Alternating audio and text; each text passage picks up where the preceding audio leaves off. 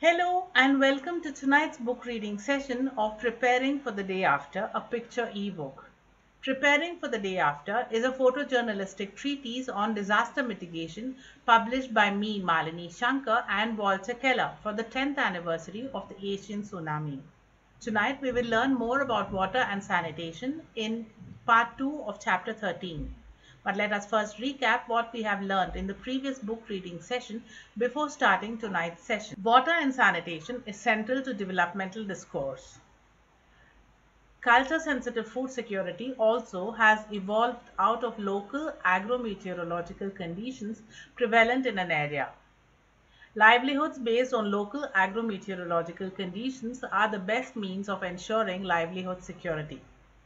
Climate change adaptation menstrual hygiene, especially for indigenous tribal women, solid waste management, universal healthcare access, sustainable development goals, they are all factors to be included in the development agenda. Media personnel have to be trained in reporting disaster preparedness or the lack of it at district level. Disaster is the impact of a calamity on the human landscape. This includes the impact on lives, livelihoods, livestock and landscape. Now let us start with part 2 of chapter 13 on water and sanitation in tonight's reading. It took the paralyzed island administration of Car more than a month on 29th of January 2005 to establish a medical facility in Car to deal with the ever increasing numbers of dysentery in the survivors camps. When tested, five of the six wells being used for drinking water tested positive for coliforms. When these wells were chlorinated, the incidence of diarrhea declined. The WHO study, Asian Tsunami 2004, a comprehensive analysis, has documented. The Dhanikhari Dam that supplies potable water to the denizens of Port Blair in Andaman Nicobar Island suffered damage in the mega earthquake that triggered the tsunami. Port Blair, that was hosting tsunami survivors and camps, found itself in water stress. These were dire times for the islanders. In the Nicobar island of Chaura, superstitions prevented the indigenous people from drinking water from the water supplied by the desalination plant, thus leaving it in a state of disrepair thanks to underutilization even before the Asian tsunami. RTI applications filed by me to establish the number of desalination plants in Andaman Nicobar Islands found only one response from the North and Middle Andaman District's Deputy Commissioner's Office that there are no desalination machines one decade after the tsunami in the North and Middle Andaman District. RTI applications with the same question uh, for South Andaman and Nicobar districts did not get replies within the stipulated one month's time. Reigniting this machine in the aftermath of the calamity became a piquant problem for the already stretched administration in the geographically challenged archipelago. When stress on account of inadequate fresh water compounds the problem, Plan B and Plan C obviously does not suffice. How do you try to create awareness amongst marginalized indigenous people whom anthropologists want to sustain in isolation? There is obviously a need to establish if isolation helps conserve or further endanger the already endangered population of the indigenous people. However, the Deputy Commissioner of Nicobar District, Mrs. Sakshi Mittal, IAS, told me in an exclusive discussion I don't think now they reject because they have they only get water from the infrastructure provided by the PWD department, that is the Public Works Department. This was another watershed event in the evolution of the indigenous people of the forlorn volcanic islands in the Bay of Bengal. Natural calamities are not new, but the impact of such calamities, the resilience of marginalized indigenous people are a new phenomenon. Awareness about sanitation and inclusive de development saw installation of toilets in all reconstructed houses of the indigenous people in Car Nicobar. All the same, 35% deficit in toilets for school-going children remains a matter of concern in Nicobar Islands. Besides, separate toilets for teenage girls in government schools has been documented by WASH, an NGO that is working in the sphere of water and sanitation. For more about toilets in Nicobar group of islands, please do visit this link which is coming up now. Yes, there it is. Uh, it is an article written by me in the IPS news agency. The best practice then is for desalination plants in remote islands. Nevertheless, there is a need to evolve a best practice as regards reaching out to the highly endangered indigenous population. There is a distinct paucity of knowledge on account of a lack of informed debate, I dare say, of how to impress the indigenous people of the need for water conservation. Elaborate water supply infrastructure, that too through a divine installation for the exclusive needs of the endangered indigenous people is another area that raises questions. The tsunami inflicted a colossal water shortage in the Andaman Nicobar Islands in India and the damage to water supply infrastructure in Tamil Nadu in India is estimated at around 4.4 million US dollars in Tamil Nadu and 3 million US dollars in Kerala as per statistics provided in the WHO study. Around 1,500 drowned wells within a 1 kilometer distance from the shore were contaminated either by saline water or sewage discharge in the aftermath of the tsunami in Tamil Nadu. The Indian Union Territory of Puducherry had a unique Plan B in place which insulated the uh, Union Territory's denizens from the water crisis following the tsunami. Although smashed hard, the UT, that is the Union Territory, draws its water from far off inlaid infrastructure like tubes and supplied water to the residents of Puducherry. The, this infrastructure in the hinterland was saved the savage of the tsunami and consequently the Union Territory of Puducherry did not suffer a water crisis. That may be a, a best practice for coastal towns and populations then. Water supply infrastructure in the hinterland is fail-safe in the event of hydrometeorological and hydrogeological calamities like cyclones, storm surge, storms and of course from the deadly tsunami. Interestingly, the hardest hit regions did not always suffer the greatest water infrastructure dam damages. The Union Territory of Puducherry suffered some of the worst overall damage but suffered comparatively, comparably little water infrastructure damage. Since Puducherry draws most of its water from deep wells located several kilometers inland, there was no damage to its primary water sources. Damage was limited to a few small wells located near shore, hand pumps and minor damages to the distribution system costing an estimated 0.8 million US dollars, says the WHO study. So that implies the security of a man-made infrastructure in the face of a calamity. This is not always the case. I personally visited a temporary shelter in Karkana village in Car Nicobar in January 2007 25 months after the tsunami. The community toilet, for the sake of universal accessibility, was dug in the forest opposite the settlement. Yes, it was a hole in the ground without water supply, and privacy was served by sheets wrapping four steel rods and was roofless. Leaf litter and forest floor dwelling creatures were the factors to contend with. Fear stalks the pregnant woman or the elderly survivor who dreaded the use of the toilet in the middle of the night. Accessing this toilet in the forest involved a jump across the stormwater drain and that had been dug out but had not, cement, had not been cemented for a civilized walk to the toilet. This is what I'm talking about. The earth had been dug out but had not been cleared by the authorities. So after jumping across the dugout stormwater drain, if you landed on the mound of earth heaped on the other side, it was your lookout again to regain balance before sliding towards the forested plain to head to the toilet. In case you slipped towards the dugout stormwater drain and could not climb back. Just too bad. The hole in the ground that passed for a toilet in the forested in the forest lacked light, lacked water, roof, light, and a tap. The camp survivors did not so much as whisper a protest. Such was their gratitude for being alive after the tsunami in the Maldives. A UNEP study, Rapid Environmental Impact Assessment after the Asian tsunami, says the extent of damage to the sanitation and sewerage network is still uncertain.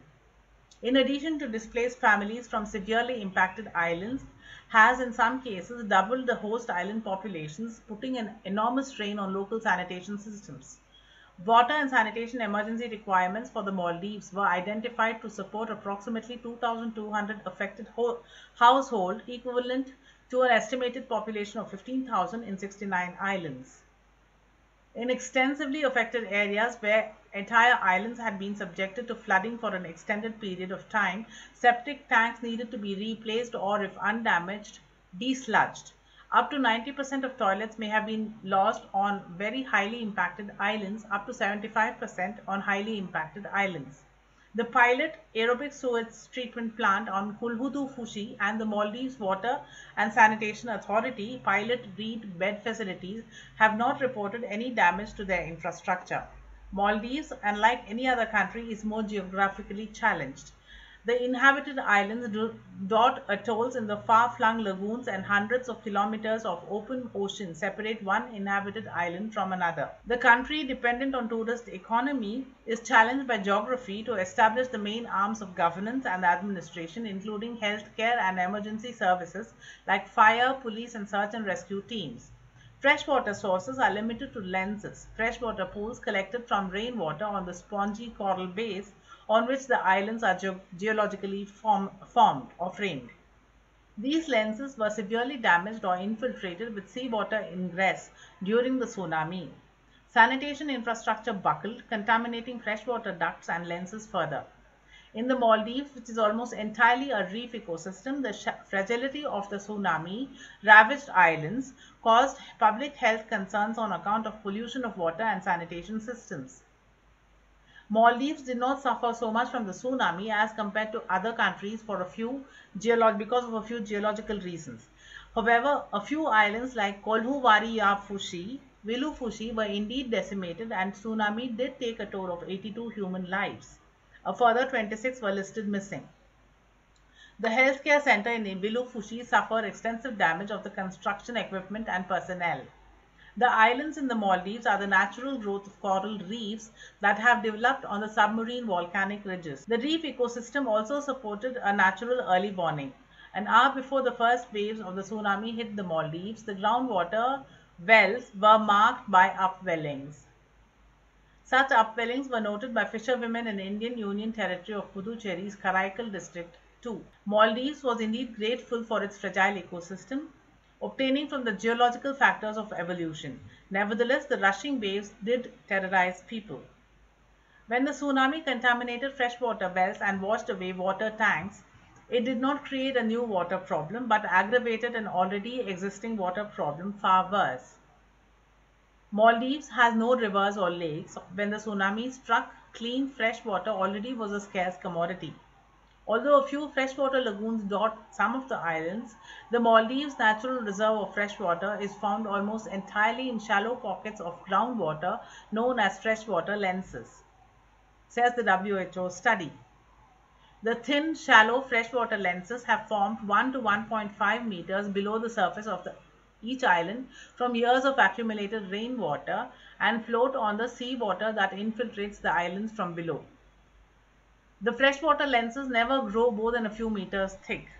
Consequently, freshwater lenses are vulnerable to contamination and by the time the tsunami arrived, ongoing development and human occupation had contaminated many of them.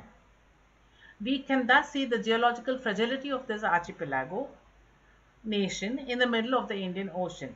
The geology of the Maldives was at once the blessing and the bane for the country the tsunami ingress contaminated the groundwater, the lenses, from well within. However, the Maldivians on the outer islands were not without recourse when supplies dwindled. When rainwater ran out at the end of the dry season, island residents often turned to mosque wells, which could provide cleaner water than their own wells. The water drawn from mosque wells tends to be cleaner than water drawn from other island wells for three primary reasons.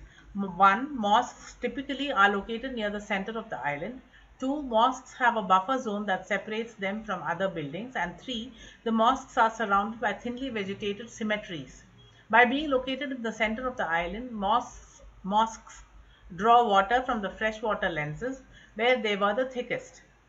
The buffer zone separating mosques' wells from other buildings also protects them from the salinating impact of surrounding wells and from pollution leached from septic tanks. And because the cemeteries surrounding the mosques tend to be sparsely vegetated, More water percolates through the ground and back into the freshwater lenses than in the areas where thicker vegetation extracts water before it reaches the lenses. Additionally, mosque wells use dhanis to manually draw water up one bucket at a time rather than pumps, which draw large quantities of water out of wells quickly. The use of dhanis helps to maintain the freshness of a well for two reasons. Manual removal limits how much water can be drawn from the well, thus lowering the impact on the level of fresh water in the well. 2. Manual removal avoids saltwater intrusion into the well, says the WHO study. The tsunami left 500 pregnant women at the mercy of the waves, depriving them of medical and health care, uh, which were ruined by the tsunami. It is an unfortunate manifestation of how calamities affect humanity. Disaster. The fragile island ecosystem in the Maldives was very vulnerable to water and sanitation contamination.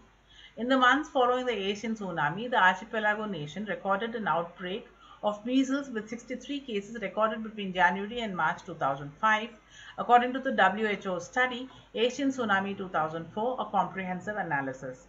The country also marked an increase in the occurrence of diarrhea although the WHO study records no outbreak of mass dysentery. There was also an increase in the occurrence of dengue in the months before the tsunami, a trend that sustained for nearly a year after the tsunami. Apart from dengue and measles, there were occurrence of typhus, mumps, reiterating the need for de decontamination of water bodies.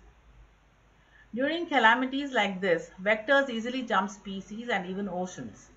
In the Maldives, the death of crows in the southern islands were attributed to the outbreak of the West Nile virus.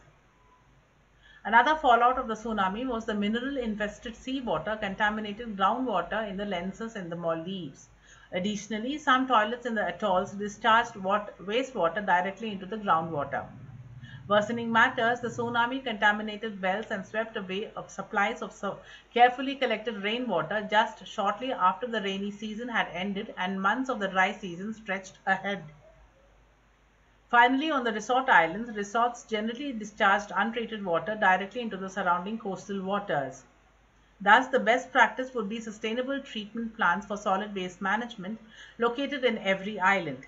Maldivians suffered water shortages in the first few days following the tsunami. WHO undertook decontamination and sanitation drives for water bodies in the Maldives, critical to preventing outbreak of communicable waterborne diseases in the tropical island paradise. Early during the disaster, the ministry distributed chlorine to tsunami impacted islands to be used to disinfect water and other possible sources of contamination created by tsunami, says the WHO study. The Indira Gandhi Memorial Hospital in Malé was converted into a temporary isolation unit for the treatment of people afflicted by waterborne diseases like measles, diarrhea, and other communicable diseases like cholera. The chlorine dispatched to decontaminate water bodies was diverted to bury rotting animal carcasses, leading to a deficit of WHO distributed chlorine. This was obviously because of a negligent conspiring bureaucracy or both. It potentially can lead to secondary disasters like outbreak of cholera, measles, etc. Weeding out black sheep in bureaucracy and ushering in transparent governance at all levels of administration cannot be compromised if disaster resilience has to be compliant. Another best practice that has been documented by WHO in the study is that decaying animal matter be burned instead of being sp sprayed with disinfectant. However, given the fact that fuel wood is not spared even for disposal of mass human mortalities during calamities, to prevent shortage of fuel, diverting such resources for disposal of animal carcasses may need prioritization on a time scale. When national and international responders arrived, drinking water, early drinking water relief came in the form of imported water and water purification kits and chemicals. The Maldivian military, the National Security Services as it's called, distributed bottled water and chlorine from state trading organization stocks to impacted islands using boats and seaplanes, the WHO study cites. Three large relief shipments arriving between the 5th and 7th of January 2005 included imported water, purification kits and a few basic supplies for carrying and procuring water. The first of these delivered on the 5th of January supplied 40 tons of bottled water flown in by the British government's Department for International Development and donated by Scottish Water and Strathmore, Strathmore Water Supply Company. A second and slightly larger shipment of bottled water was delivered the next day, along with supplies to help Maldivians procure and store their own water. On the 6th of January, Oxfam flew a 55-ton shipment of bottled water donated by the British supermarket chain Somerfield to supply 2,000 Maldivians with a two-week supply of water. Along with the bottled water, an Oxfam shipment also delivered water supply equipment including pipes, pumps and water tanks. Finally, a shipment delivered on the 7th of January provided water containers and treatment supplies. A UNICEF shipment of 694 basic family water kits arrived on a cargo plane. Each kit was designed to provide for 10 families and included 500 water purification tablets. 20 collapsible water containers, 72 bars of soap and 10 buckets with lids. In the early, early relief responses, at least one mobile desalination plant also provided water early on. On 14th January, a US Marine ship with a capacity to desalinate and distribute 95 liters, 95,000 liters per day arrived in the Maldives. Within the first 10 days following the tsunami, the WHO had also delivered 100,000 packets of oral rehydration salts, which arrived on the 3rd of January, and 10 surgical kits, which arrived on the 4th of January. The repeated lesson to be drawn in, in the Maldives was on evolving fail-safe logistics to reach out to the far-flung islands in the atolls and lagoons in the Maldives, be it for search and rescue, distribution of aid and relief, or in rehabilitation and reconstruction. In the April 11, 2012 strike slip earthquake off the coast of Sumatra, very near the epicenter of the Boxing Day tsunami triggered by the mega earthquake 2, the lesson learned was that the dire need for effective inter-island logistics to evacuate people in the far-flung islands of the Maldives. Aid relief in the Maldives included UNFPA also delivered medical supplies that included blood delivery and transfusion supplies and contraceptives. Additionally, UNFPA sent two boats fully equipped to deliver emergency care for pregnant women and for childbirth complications. The IFRC, that is the International Federation for Red Cross, also made early contributions of medical supplies. The Canadian Red Cross sent 605 medical treatment and medication kits.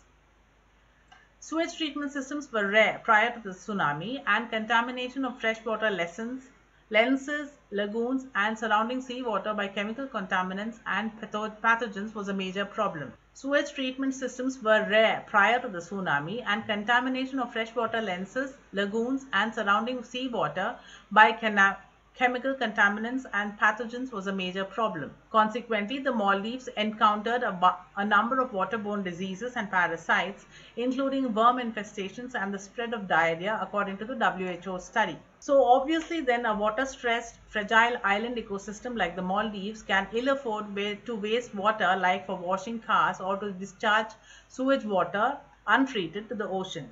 A best practice would be to utilize treated water for secondary purposes like gardening and industrial usage like say washing cars.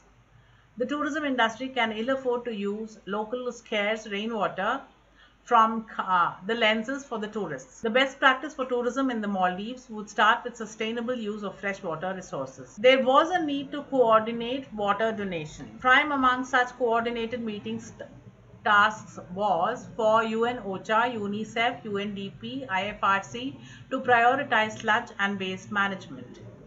UNICEF partnered with Oxfam and the Red Cross to provide 69 islands with water relief supplies, including bottled water, disinfection tablets, and water and hygiene kits.